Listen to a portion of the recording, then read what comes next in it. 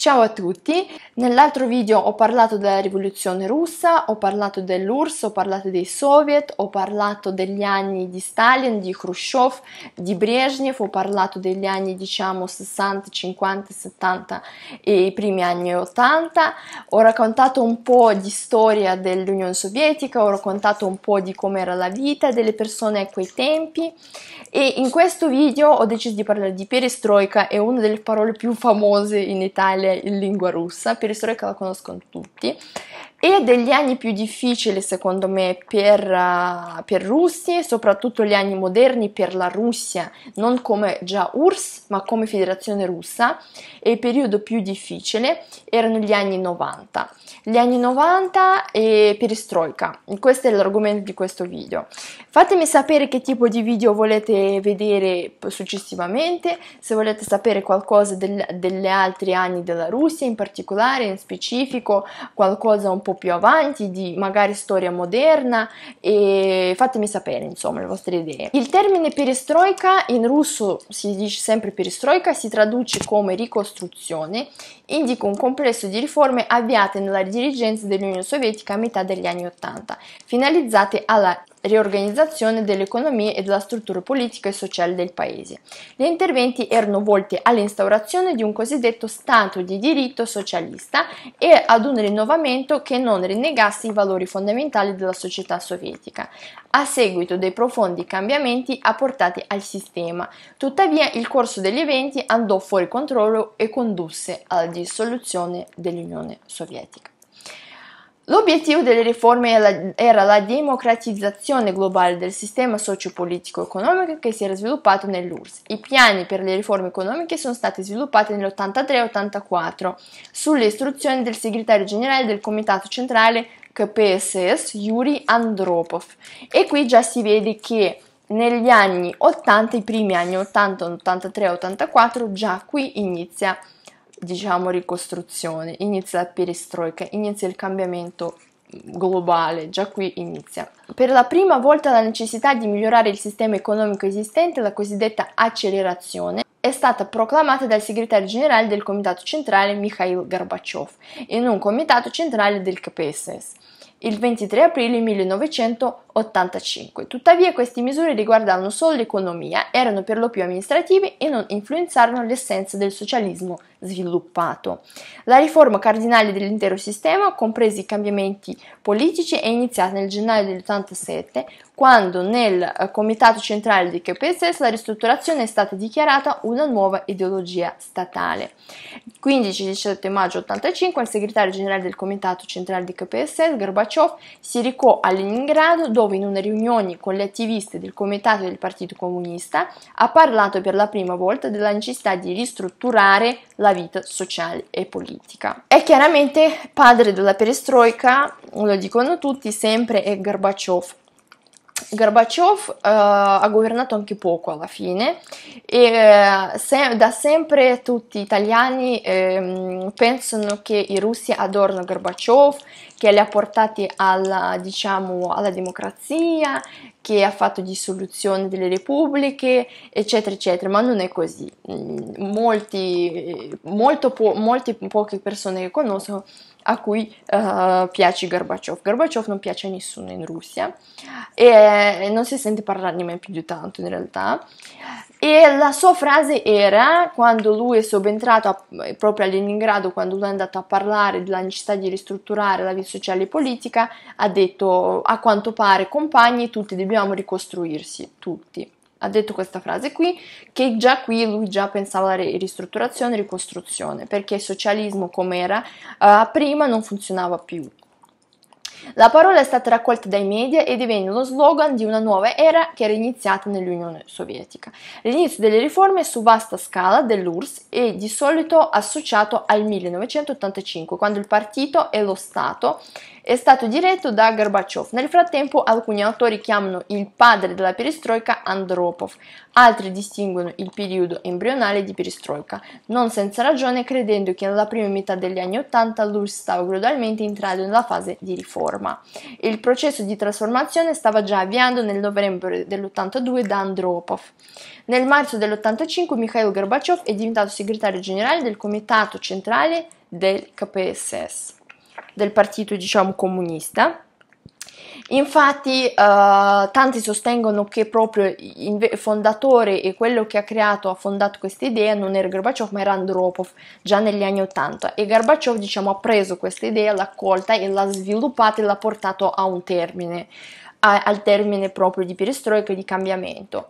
Nel 1989 si sono tenute le elezioni dei deputati dei soviet, le prime elezioni delle autorità supreme dell'URSS, in cui gli elettori hanno avuto la possibilità di scegliere tra diversi candidati e fare la campagna elettorale. Quindi già qui il primo passo. Si, si inizia a fare le elezioni, campagna elettorale, si può scegliere tra i vari candidati. 12 giugno del 1990 è stata adottata la legge dell'URSS sulla stampa e sugli altri mezzi di comunicazione, ha proibito la censura e la libertà garantita per i media. Il processo di sovranità della Russia ha portato all'adozione, il 1 novembre del 1990, il decreto sulla sovranità economica della Russia. Sovranità economica della Russia, di conseguenza, inizia la dissoluzione dell'Unione Sovietica iniziano a uscire le repubbliche. Escano le repubbliche e diventano sovrane. Guard- erano 15 repubbliche, guardiamo quali sono. Era Azerbaijan, adesso diciamo, fam- diciamo moderni stati quali sono Azerbaijan, Armenia, Bielorussia, Georgia, Kazakistan, Kyrgyzstan, Lettonia, Lituania, Moldavia, Tagikistan, Moldavia, Turkmenistan, Uzbekistan, Ucraina, Estonia e uh, Russia, chiaramente, quello diciamo la divisione.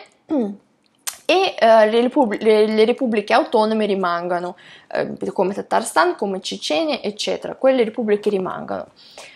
E qui iniziano gli anni 90 e diciamo che vediamo cosa cambia, cosa comporta, cosa sta succedendo. La prima cosa che comportano nazionalismo e separatismo. E la prima cosa grave che succede è la prima cosa diciamo brutta. La prima cosa ci sono subito gli scontri tra gli stati, tra ex stati perché i territori erano suddivisi, loro non erano magari d'accordo. Uh, Armenia e Azerbaijan, c'è il conflitto uh, Georgia e Ossetia del Sud, c'è il conflitto appunto Moldavia e Pridnistrovia, anche lì è stato un discorso molto importante, uh, Moldavia e Pridnistrovia c'era proprio un vero e proprio separatismo nazionalismo e i paesi baltici, anche lì vanno un po' in conflitto tra loro. Tutto, tutti uniti, cittadini dell'URSS, tutto insieme, tutto va a gonfie vele, tutti uniti, unico popolo, unico paese, unica patria. In un giorno tutte diventano sovrane. Io tra l'altro ho fatto il video URSS e le repubbliche sovietiche, lì ho un po' parlato di come, perché, cos'è, potete guardarlo quel video lì. Guardiamo cosa uh, cambia. La prima cosa che cambia è uh, rinnovo delle riabilitazioni delle vittime dello stalinismo. Quindi diciamo, parliamo sempre di destalinizzazione, un po' del um, togliere quelle vecchie abitudini, riabilitazione delle vittime che hanno sofferto. 6 novembre del 91 vietato in Russia il Partito Comunista. KPSS, uh, Коммунистическая партия Советского Союза, diventa vietata. Democrazia. Parliamo di democrazia. Quali cambiamenti democratici sono arrivati? Parziale libertà di parola, pubblicità, abolizione della censura. Pluralismo dei pareri. Introduzione del pluralismo elettorale e l'abolizione del sistema monopartito. Facilitazione dell'ingresso e uscita all'estero, incluso immigrazione e contatti con gli stranieri. La risoluzione dell'imprenditoria privata, il movimento delle cooperative e la proprietà privata. Maggio 89. Gorbaciov ha emesso un decreto secondo cui gli studenti dove non dovevano più iscriversi nell'esercito e fare la leva, quindi rimanevano in università. Ritardi nella circolazione legale delle armi, abolizione del perseguimento penale per la sodomia. Uh, economia interna, sempre un po' di cose che fa Gorbaciov. Economia interna, campagna antialcolica, Sukhoi Zakon in russo si chiamava, che non si poteva bere, non si poteva vendere alcolici. E di conseguenza le persone dalla disperazione hanno iniziato a farli da sole in casa illegalmente. Ed è andato molto peggio del previsto perché tutti poi a un certo punto chiaramente prendevano intossicazione perché combinavano di tutto e di più. Uh, campagna antialcolica che non è stata una bella cosa tra l'85 e l'87 distribuzione delle cooperative e successivamente introduzione della libera impresa, scioperi nelle miniere dell'89, riforma monetaria 91, iperinflazione, si alzano subito i prezzi, riduzione delle riserve d'oro del paese, quindi tutto si riduce, il calo della crescita economica e recessione, poi dopo il declino la svalutazione della valuta nazionale del rublo al dollaro, erano 90 rubli per dollaro uh, degli Stati Uniti, aumento del debito estero di almeno tre volte,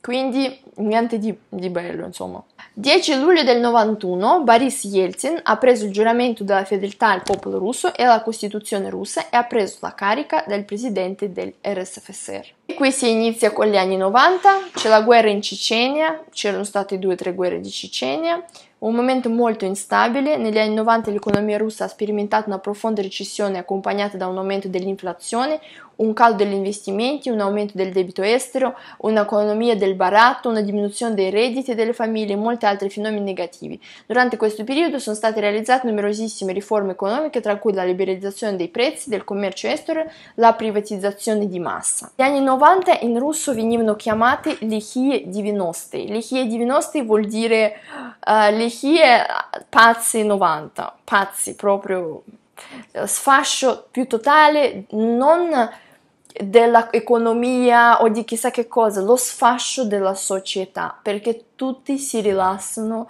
e tutti capiscono che da ora si può fare di tutto e di più, non c'è restrizione, non c'è niente. È una cosa chiaramente positiva, c'è la libertà di tutto, ma in alcuni casi si vede che non sempre porta solo cose positive Uh, per tutti i russi, per penso tutti quanti, gli anni 90 erano un periodo più difficile. Praticamente controllo e eh, protezione dello Stato sulle persone non c'è più e le persone ognuno deve pensare per sé.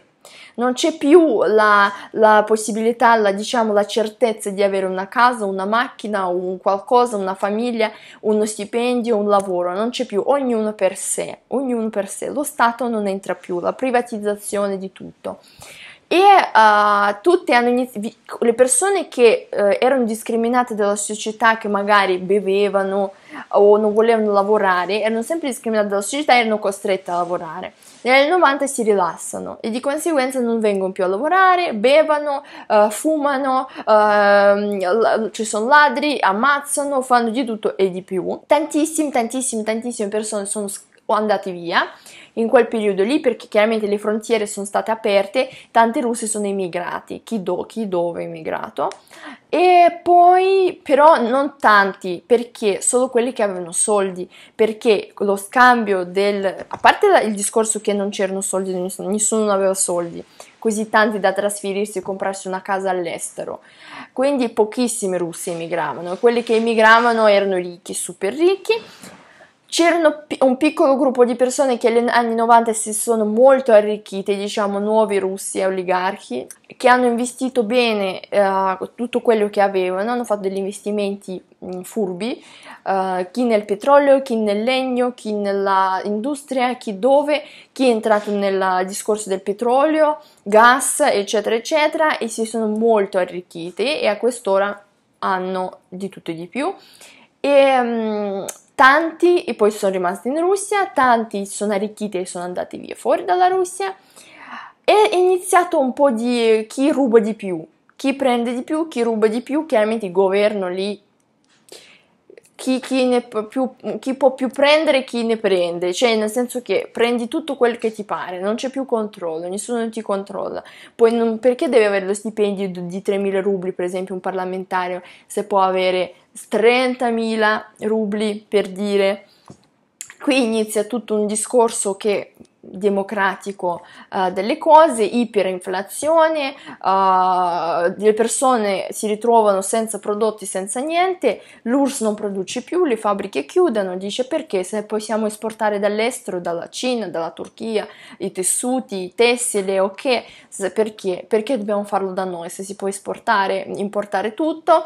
Insomma, per, per far girare economia lo facevano chiaramente, per attrarre investimenti esteri, ma già la situazione era talmente brutta che neanche all'estero non lo voleva nessuno, chiaramente, nessuno dell'estero dice ah, sono, ora sono aperte le frontiere, ci sono state alcune persone sì che hanno investito, ma pochissimo, nessuno voleva investire lì perché non, nessuno non sapeva cosa sta, sta, sta, succedendo. E a cosa poteva anche portare questo cambiamento. Quando c'è stata la caduta dell'URSS le persone piangevano, davvero, le persone piangevano perché pensavano è finita, cioè che succederà non si sa, nessuno non era così felice da dire, tutti pensavano, boh, nessuno sapeva come finirà e a cosa si andrà incontro, perché chiaramente tutta questa parte di popolazione, tutta questa fetta di popolazione non ha mai visto uh, questa vita, diciamo, perché quando nasci in un paese così tu pensi che questo è normale, così si vive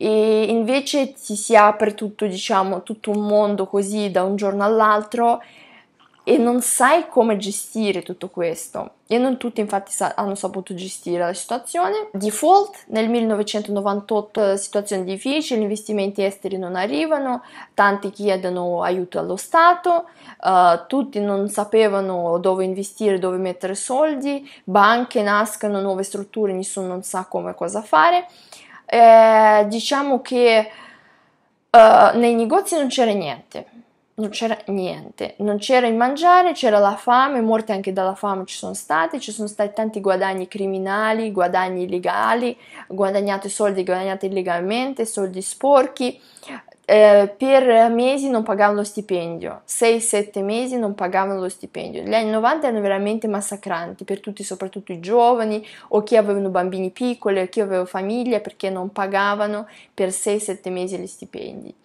Uh, non uh, c'era niente da mangiare e c'erano i prezzi esorbitanti, veramente alti, altissimi prezzi.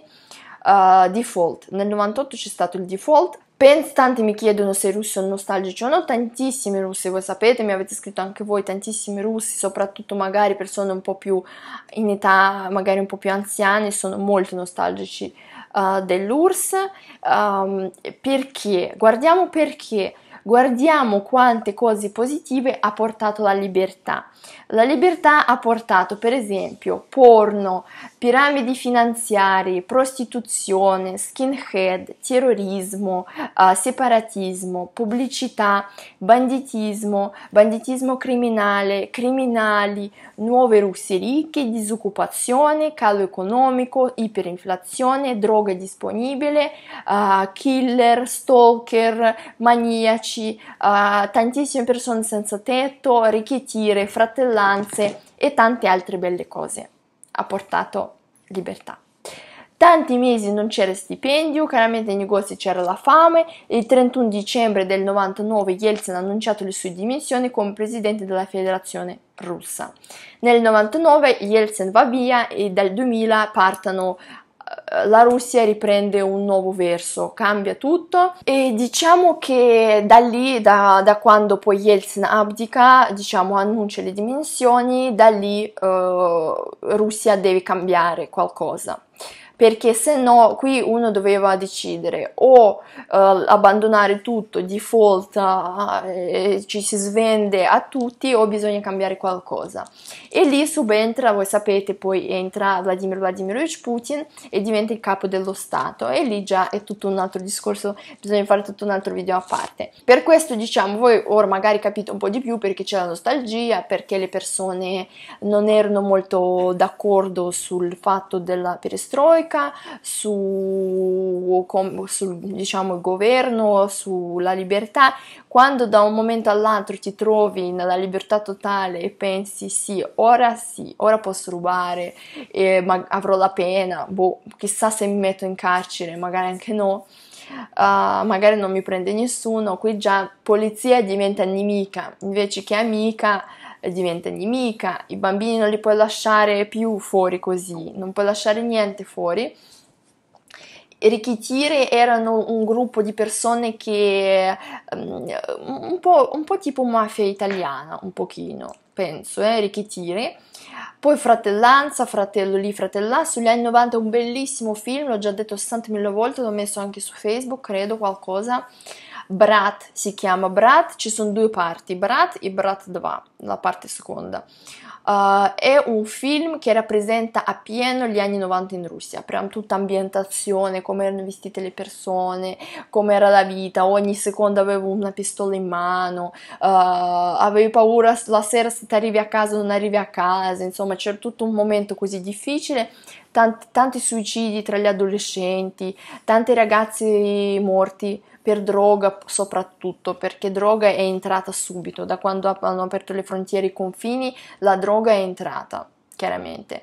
Alcol, eccetera, eccetera, insomma, era tutto lo sfascio più totale dalla società proprio, di grado della società e ognuno per sé è diventato. Prima era tutto un, un unito, tutto un siamo insieme, unica patria, unica bandiera, ora a questo punto dagli anni 90 in poi ognuno diciamo, ha iniziato a pensare un po' per sé.